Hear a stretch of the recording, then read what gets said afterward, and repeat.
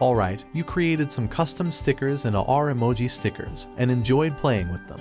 Now, you want to delete them all. Here's what you need to do. For the custom stickers, you can delete them individually by long pressing on the sticker you want to delete and selecting delete. But as for AR emoji stickers, long pressing on an individual sticker doesn't show anything. so you will need to press the gear button, select AR emoji, and then delete. Also, if you want to delete all the custom stickers in one shot, you can select the custom stickers option here, and then followed by tapping the delete option. Now that I have deleted both the custom and R emoji stickers, let's go back and check them out. Now, you're prompted to set the stickers again meaning there are no existing stickers. Very nice. That's it for this video. I hope this video helps. Bye.